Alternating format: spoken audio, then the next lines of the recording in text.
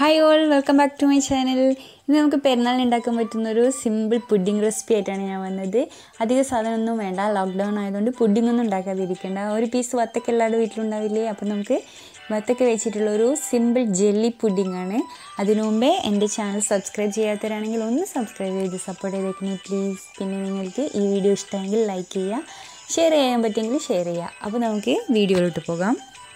കുറച്ച് വത്തക്കയാണ് വേണ്ടത്. അപ്പോൾ ഒരു ചെറിയ പീസ് വത്തക്ക എടുത്ത് ഞാൻ പീസ് പീസ് ആക്കുന്നുണ്ട്. ഇതിന്റെ തൊലി കളഞ്ഞിട്ട് പീസാക്കി അല്ല കുഞ്ഞു കുഞ്ഞു പീസാക്കിയിട്ട് ഒരു മിക്സിയുടെ ജാറിലോട്ട് ഇട്ടിട്ട് അടിച്ചെടുക്കുകയാണ് വേണ്ടത്. അപ്പോൾ നമുക്ക് പീസാക്കി എടുക്കാം.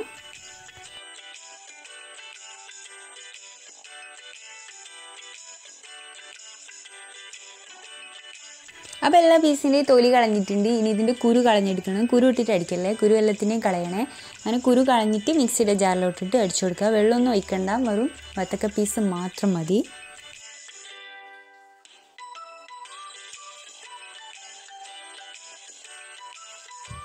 ഇതങ്ങനെ വത്തക്ക മാത്രം നന്നായിട്ട് അടിച്ചെടുത്തിട്ടുണ്ട്. ഒരു പീസ് പോലും ഉണ്ടാകരുത്. നന്നായിട്ട് ബ്ലെൻഡ് ചെയ്തെടുക്കണം. എന്നിട്ട് അതൊരു സോസ് പാനിലോട്ട് ഒഴിച്ചു കൊടുക്കാം. കുക്ക് ചെയ്യാൻ വേണ്ടിയിട്ടാണ്. ഒരു ജസ്റ്റ് ഒരു രണ്ട് മൂന്ന് മിനിറ്റ് കുക്ക് ചെയ്തെടുക്കണം. ഇനി അതിലോട്ട് ആവശ്യമായിട്ടുള്ള മധുരം ഇട്ട് കൊടുക്കുക പഞ്ചസാര. അപ്പോൾ ഒരു രണ്ട് കപ്പ് ജ്യൂസ് ഉണ്ട് ഇത്. അതിന് ഒരു മുക്കാൽ കപ്പ് പഞ്ചസാര ഇട്ട് കൊടുത്തിട്ടുണ്ട്. ഇനി ഇത് നന്നായി മിക്സ് ചെയ്തിട്ട് ഫ്ലെയിം ഓൺ ചെയ്ത് കൊടുക്കാം. ഈ ജ്യൂസ് ജസ്റ്റ് ഒന്ന് തിളച്ച് വരികയെ വേണ്ടൂ. ആ ടൈമിൽ ഇതിലോട്ട് ഒരു കാൽ കപ്പ് കോൺഫ്ലോറും കാൽ കപ്പ് വെള്ളവും മിക്സ് ചെയ്തിട്ട് ഇതിൽ ഒഴിച്ചു കൊടുക്കണം. അപ്പോൾ നല്ല തിക്കാവും. തിക്കാവുന്നവരെ തിക്കാവുന്ന വരെ നോക്കി മിക്സ് ചെയ്ത് കൊടുക്കണം ഇതിപ്പോൾ തിളച്ച് വരുന്നുണ്ട്. തിളയ്ക്കുന്ന സമയത്താണ് നമ്മൾ കോൺഫ്ലോർ മിക്സ് ആഡ് ചെയ്ത് കൊടുക്കേണ്ടത്. അത് മിക്സ് ആഡ് ചെയ്ത് കൊടുത്ത ഉടനെ നല്ല തിക്കാവും. ആ തിക്കാവുന്ന സമയത്ത് നമുക്ക് ഫ്ലെയിം ഓഫ് ചെയ്ത് കൊടുക്കണം.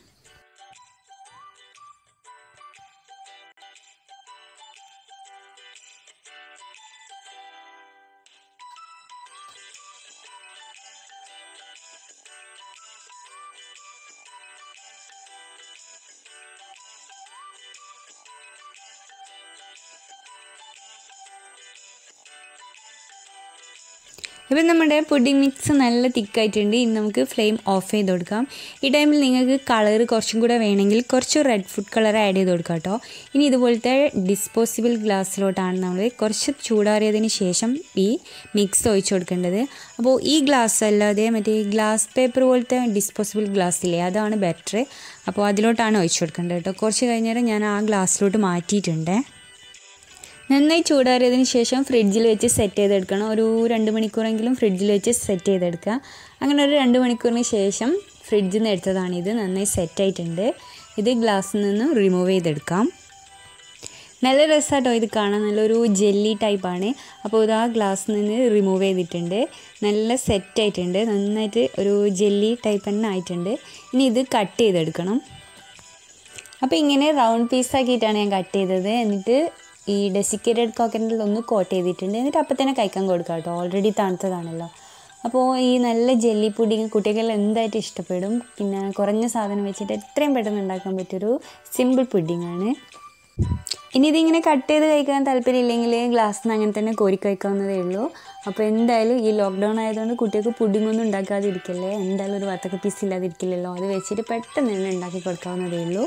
അപ്പോൾ ഈ വീഡിയോ നിങ്ങൾക്ക് എല്ലാവർക്കും ഇഷ്ടപ്പെട്ടെന്ന് വിചാരിക്കുന്നു. ഇഷ്ടപ്പെട്ടെങ്കിൽ ലൈക്ക് ചെയ്യുക ഷെയർ ചെയ്യുക. പിന്നെ എന്ത് അഭിപ്രായമാണെങ്കിലും അത് കമന്റ് ചെയ്യാൻ മടിക്കല്ലേ. അപ്പോൾ ഇനി ഒരു അടിപൊളി വീഡിയോ ആയിട്ട് വരുന്നവരേക്കും ബൈ താങ്ക്